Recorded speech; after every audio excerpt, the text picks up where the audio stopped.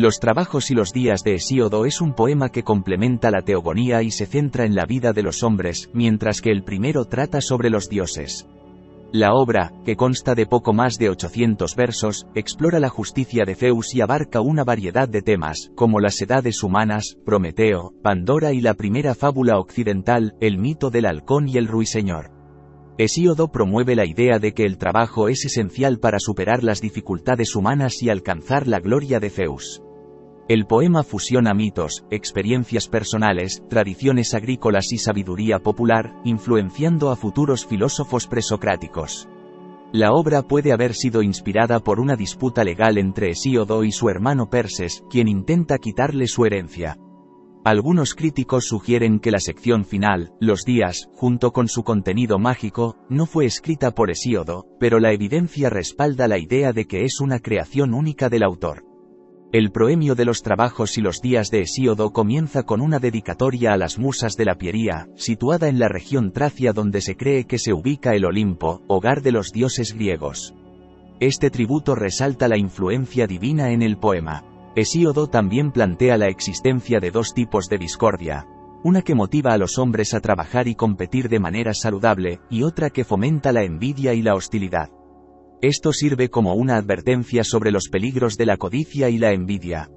En el proemio, Hesíodo dirige consejos a su hermano Perses, aconsejándole que no confíe en adulaciones y halagos para ganar una disputa legal por herencia, ya que esto es inapropiado y poco ético. Hesíodo advierte contra la búsqueda de ganancias fáciles y enfatiza la importancia de ganarse la vida a través del trabajo honesto y el esfuerzo. El proemio de los trabajos y los días establece el tono y los temas clave del poema, destacando la inspiración divina, los peligros de la envidia y la codicia, y la importancia de la justicia y el trabajo honrado en la vida de los hombres.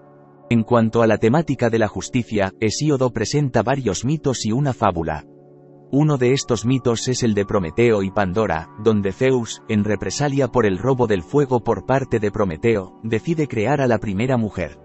Encomienda a Hefesto crear una figura femenina que combine la belleza de las diosas y la astucia, mientras Atenea le enseña sus habilidades, Afrodita le concede gracia y sensualidad, y Hefesto le otorga un carácter ingenioso y voluble. Esta mujer recibe el nombre de Pandora, ya que todos los dioses le otorgan un regalo, que resulta ser una perdición para los hombres que se alimentan de pan. Pandora, al abrir una jarra que contenía males, condena a la humanidad al trabajo y al sufrimiento. Hesíodo también aborda el mito de las edades, que describe cinco generaciones de seres humanos. Comienza con una edad dorada de felicidad y paz bajo Cronos. Luego, sigue una edad de plata, cuyos habitantes sufren debido a su impiedad. La tercera generación, hecha de seres de bronce, cae víctima de su propia violencia. Zeus crea entonces la estirpe divina de héroes, pero su destino se vincula a guerras y desdichas. Finalmente, la generación actual es de hierro, caracterizada por la envidia y la falta de justicia, lo que presagia su declive. Hesíodo cierra su relato con la idea de que hay dos sinémesis, personificaciones de la modestia y la venganza divina, se alejan de los mortales, dejándolos con sufrimiento sin remedio. Finalmente, el poeta presenta la fábula del halcón y el ruiseñor, destacando la importancia de la justicia de Zeus y aconsejando evitar la soberbia, ya que ésta puede perjudicar tanto a personas de baja condición como a nobles. Introducción al tema del trabajo. Este pasaje transmite la idea de que la maldad es una elección fácil, mientras que la virtud requiere un gran esfuerzo. Este concepto, que más tarde se encuentra en los escritos de Simónides, Parménides y Empédocles, establece que el trabajo es digno y valioso, y que la inacción es comparable a la conducta de las abejas. Además, se destaca que la virtud, arete, es un bien alcanzable por todos, no una cualidad exclusiva de la aristocracia, en contraposición a lo que se encuentra en los textos homéricos. Hesíodo señala que las acciones injustas son castigadas por la justicia divina y ofrece consejos para una conducta adecuada. Se resalta la idea de que la vergüenza vinculada a la necesidad puede ser tanto perjudicial como beneficiosa. Esta vergüenza está estrechamente relacionada con la pobreza, de la misma manera que la arrogancia lo está con la riqueza. Calendario del Labrador. La obra comienza con una introducción que incluye una exhortación dirigida a Perses.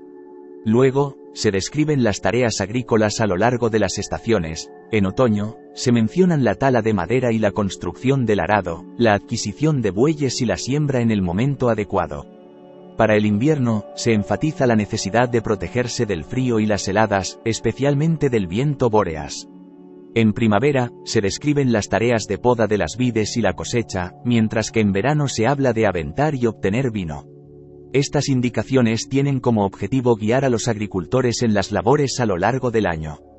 Calendario de la navegación. El texto comienza aconsejando la precaución en la navegación en tiempos de mal tiempo, a continuación, el autor, aunque se reconoce como inexperto en el tema, comparte algunos detalles sobre su vida, como el traslado de su empobrecido padre desde Cime a Ashkra y su éxito en un concurso en Calcis. Luego, ofrece información sobre las épocas propicias para los viajes marítimos, al final del verano y en los primeros brotes de la primavera. Estos consejos pretenden orientar a los navegantes en las condiciones ideales para emprender travesías seguras. Consejos de Administración Familiar. El texto aborda temas como la elección de esposa, la lealtad hacia los amigos y la moderación en las relaciones personales.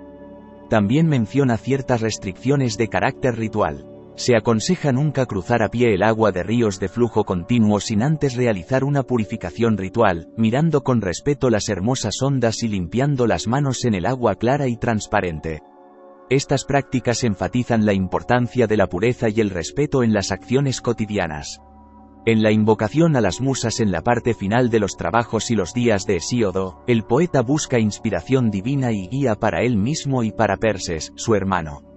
Esta invocación refleja la creencia antigua en la importancia de la protección y el apoyo divino en la vida cotidiana. Hesíodo apela a las musas, divinidades que personifican las artes y la inspiración, para que le otorguen la sabiduría y el conocimiento necesarios para vivir una vida justa y recta. En este momento, Hesíodo reconoce su propia insignificancia y la necesidad de la intervención divina en asuntos humanos.